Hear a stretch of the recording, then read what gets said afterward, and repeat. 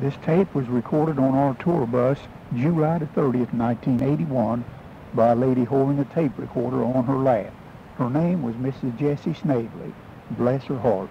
She and her friends had a wonderful time on that day on our tour to Nashville. How many people's on here with uh, this tour for the first time? Well, man, look at all them new people. Can tell all my jokes, can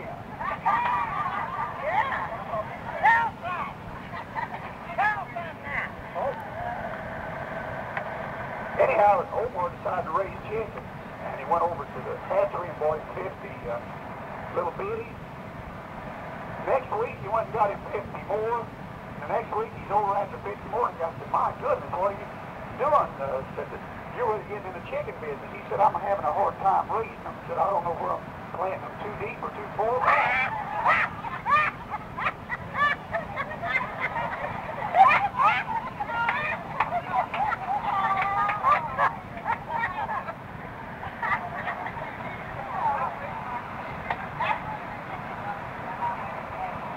Well, you ought to tell you about Omar and uh, Don Brooks.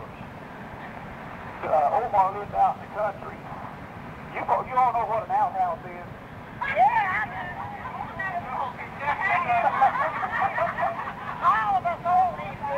Well, anyhow, Omar lived out in the country, and Don picked him up for work. And had a big family. You know how it is, you got a big family, sometimes your outhouse a little big. Well, this is a two-hole job, that's what it was.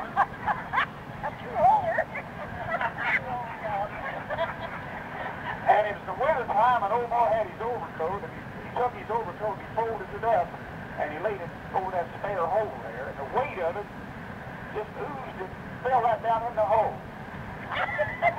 And uh, Don came along to pick him up, and uh, and he tuned the horn and no answer, so he went around there, and here was Omar with a big stick, and he's trying to get that uh, coat out. And he says, Omar, let's go, we're going to be late for work. And he says, wait a minute, I got to get my coat out of here. And Don says, well, why? If you get it out, all you can do is bury it. So I just leave it there. And Omar says, I ain't leaving till I get that coat. And Goodness sakes, why? And he says, cause my lunch is in the box.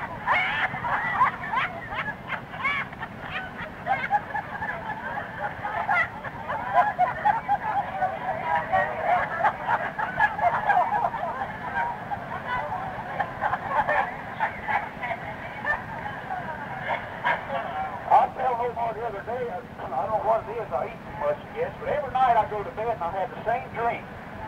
I dream I go up to the gas station, get a tank of gas, and drive to Huntington.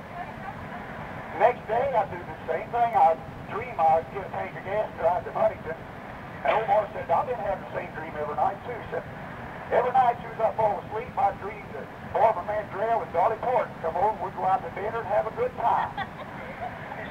Next night, the same thing. And I said, oh, morning, now your buddy? He said, yeah. I said, well, Barbara Mandrell, Dolly Parton, why didn't you call me? Well, I did because you was up in Huntington.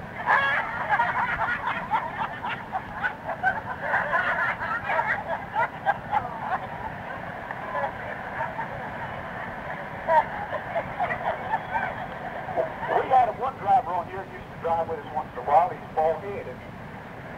And I, I asked him, uh, how, how you like this job? He said, I like it a lot better than the other one I had. I said, what was the other one? He said, I worked in a shoe store.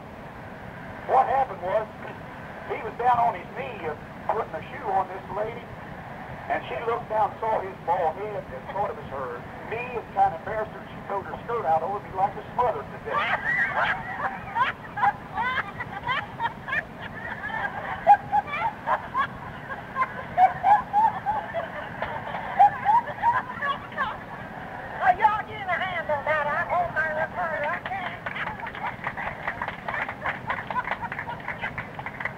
The other day I went down to the, I was down to the drugstore, standing out there, and a car pulled up, and the guy jumped out and run in. And I wonder what's happened. So I followed him in there. He said, hey, mister, can you uh, give me something that'll stop the hiccup? This guy was mopping the floor about quitting time. He had a great big old mop and he's mopping the floor. And he didn't say nothing. And he said, hey, I said, can you stop the hiccups? And this guy had that bucket dipped, that mop dipped in a big bucket of water, and he come out with it and took a big swing and hit the guy right in the face with that wet mop. Said, for goodness sake, all he asked you stop the hiccups. Said, you don't have the hiccups, do you? He said, I never did have them. The old lady out in the car. Yeah, I was there in that store, and, and uh, after this lady went out, somebody started screaming. And I said, what's that? He said, I don't know. This lady lives upstairs over the store. So I went running up there, and I said, what's the matter, lady? And uh, she said, to look across there, across the alley in that apartment over there. She said, there's a man over there, and he don't have no clothes on. So I looked, and I said, well, for goodness sake, I can't see nothing but his head and shoulders. She said, yes, and you climb up on that table there and.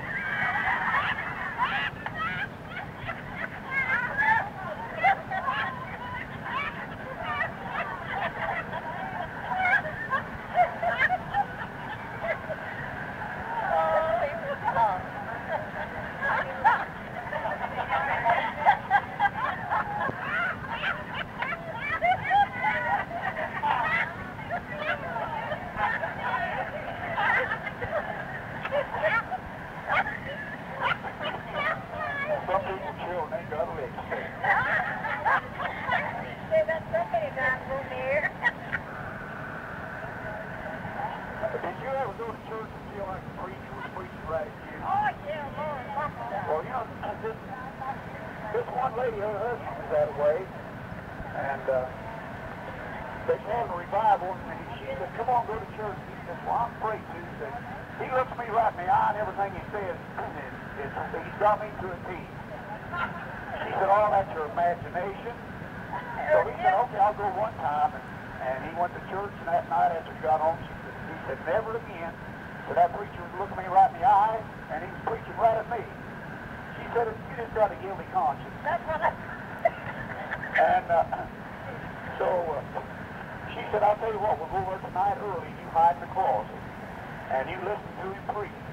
And, and he don't even know you're there. And so you'll know he's not preaching at you. And you'll still feel that way.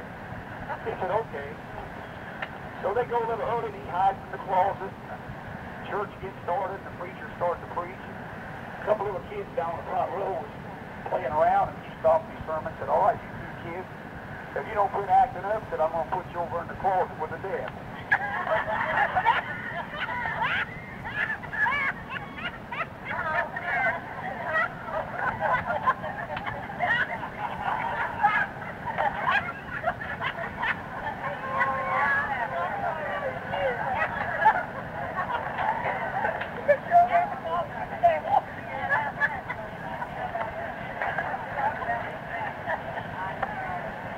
drives the microphone. Know, we going down the road one day uh, on a tour, and uh, we stopped along the way there to, uh, I don't remember what for, but there was a, a green apple, there's an apple tree all full of green apples. And old Morris said, man, I love green apples. I had him for so long. And he, he went over and got him a handful, and started to eat them. And we started on down, we started on down the highway. And uh, I noticed he's had a little bit of problem, and he said, man, I'm going to have to stop this bus. And we went past a little old country store, and he stopped the bus, and he run in there and says, could, could you tell me where your toilet is? She says, let out the back door down that path, and he dashed out. I said, oh my goodness, I forgot to tell him about that clothesline. Out there and they leave, you know. She said, oh, I'm so sorry I forgot to tell you about that clothesline. He said, that's all right, lady. I don't think I'd have made it anyhow.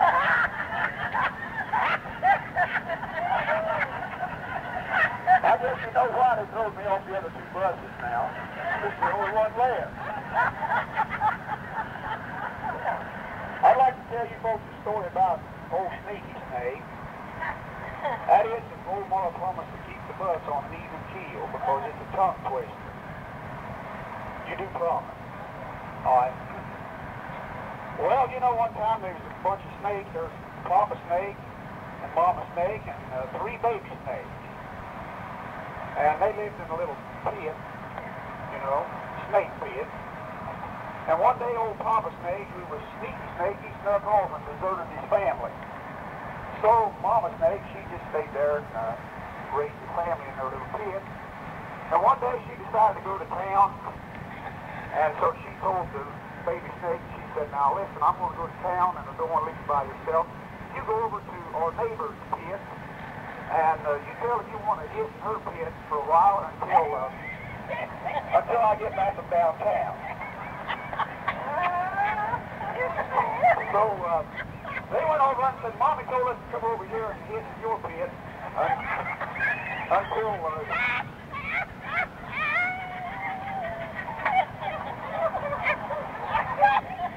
Well, that's what snakes do. They get to the pit. They live in the pit and they hiss all the time.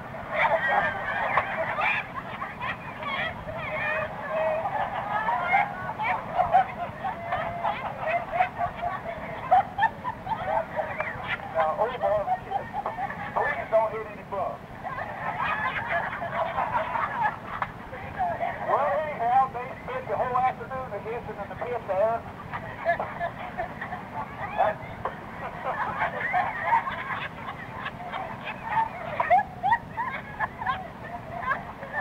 guys are making me laugh. You're blushing.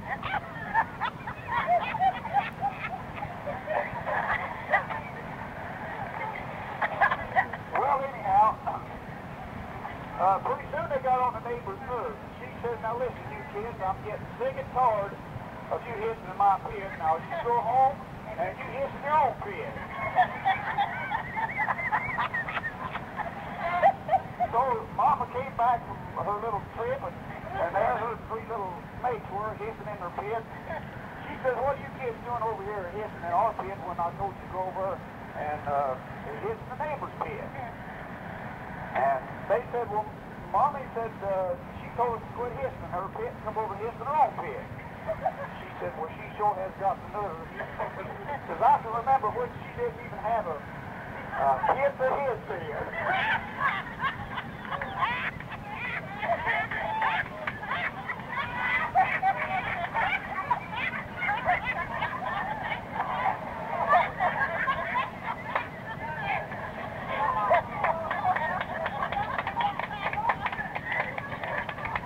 If any of you ever tell that, be sure and rehearse it a couple times.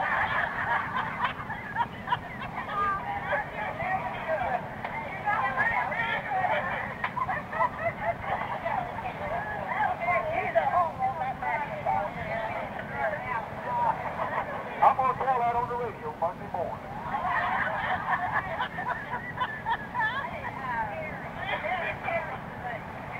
Now, now, I wouldn't do that for nothing. I'd be, if they'd ship me out on the they?